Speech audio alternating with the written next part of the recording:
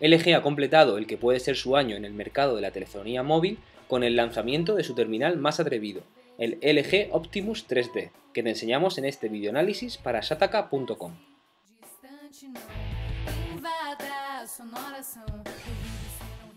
Este nuevo terminal incluye un procesador de doble núcleo y Android como sistema operativo, aunque es la versión 2.2 y por aquello de su pantalla especial es más complicado que las actualizaciones a versiones futuras lleguen con celeridad. El LG Optimus 3D no puede presumir de delgadez ni ligereza, e incluso la batería es la peor que hemos probado en los doble núcleo de este año. Es el precio que debe pagar quien quiera en este teléfono algo especial de lo que no pueda presumir sus competidores. Cámara de fotos y vídeo 3D y pantalla de 3,5 pulgadas donde poder ver de forma tridimensional sin necesidad de gafas. Sí, como la Nintendo 3DS.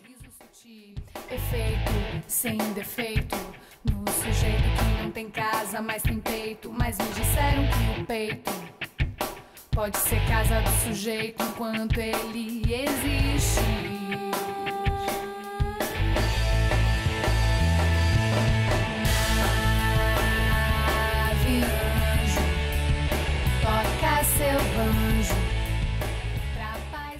LG ha potenciado esta funcionalidad estrella de su último terminal Optimus con un menú exclusivo que da acceso a las funciones relacionadas con el modo 3D, entre ellas el canal de vídeo 3D de YouTube, diversos juegos en 3D y la galería de imágenes y vídeos que nosotros mismos podemos crear.